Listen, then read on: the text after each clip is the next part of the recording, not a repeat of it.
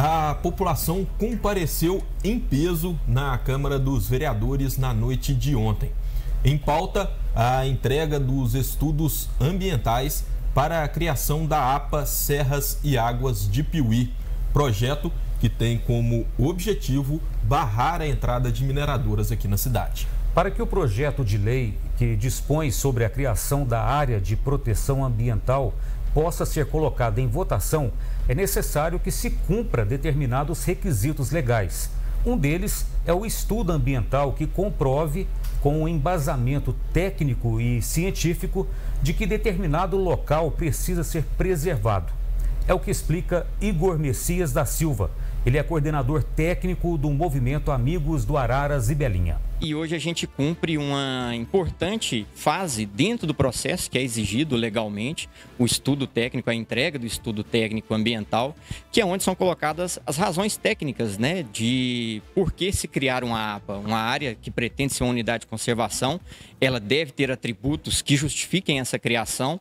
E esses atributos estão descritos no estudo técnico. Eu diria que o resultado ele foi além do que a gente esperava é, e a gente tem atributos hoje, se fosse o caso, para criar uma unidade de conservação até de categoria mais restritiva que uma própria APA, mas a gente entende que a APA é o melhor caminho e que o projeto de lei ele se sustenta e agora é seguir para as próximas fases.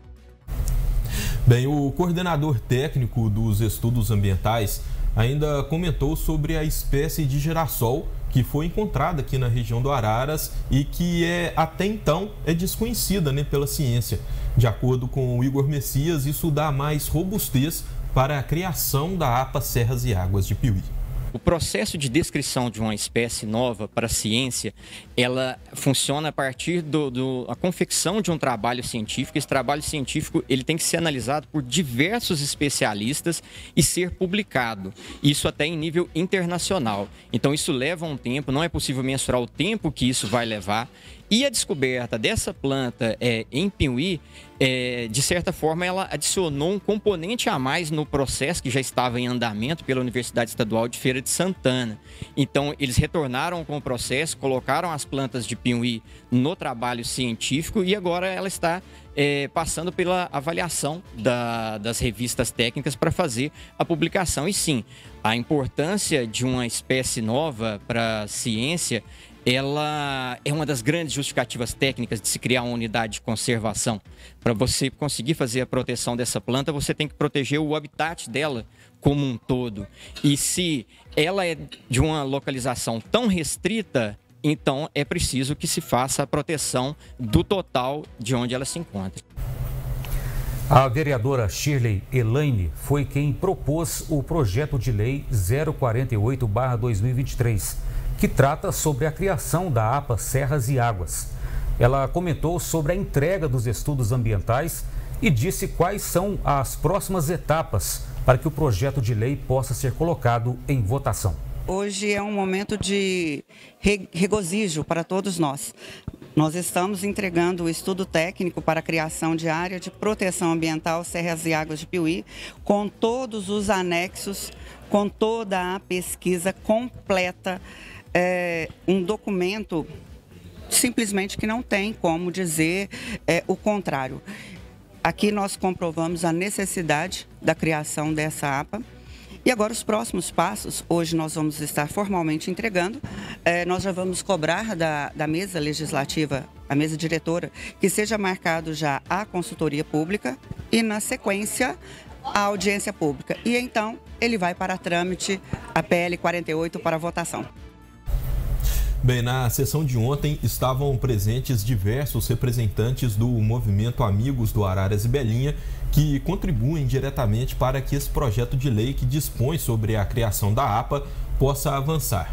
Entre eles, o condutor de turismo Ricardo Guia e também a advogada Carmen Lúcia. Eles comentaram sobre a entrega dos estudos ambientais. Um ano e dois meses, um ano e três meses, que a gente denuncia mais do que botar luz, a gente denuncia a chegada para que os órgãos competentes fossem investigar e averiguar a veracidade das nossas informações.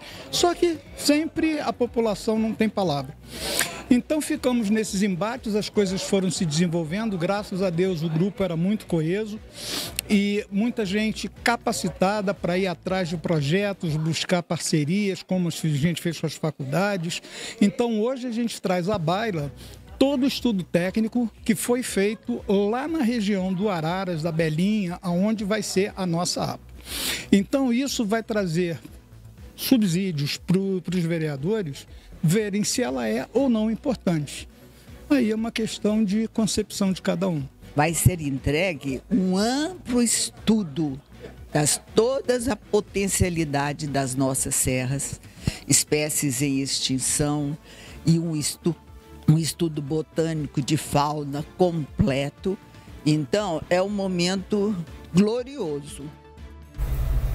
A advogada Carmen Lúcia e a vereadora Shirley falaram sobre como a participação popular será fundamental na tramitação do projeto de lei. É uma mensagem de democracia. Demos povo, Kratos poder. Então, todo poder emana do povo. E é isso que a gente está aqui hoje, é fazendo valer a voz do piuiense, traçando os rumos do destino da nossa abençoada terra porque nós temos tudo aqui. Nós temos uma agricultura forte, nós temos uma água limpa, nós temos um ar puro para ser respirado. E de forma nenhuma a gente pode perder isso, que é um dom da vida que nos deu o Criador. A participação maciça da população é imprescindível. Nós estamos falando do maior bem da vida: água e ar. O ar que respiramos são a primazia de tudo.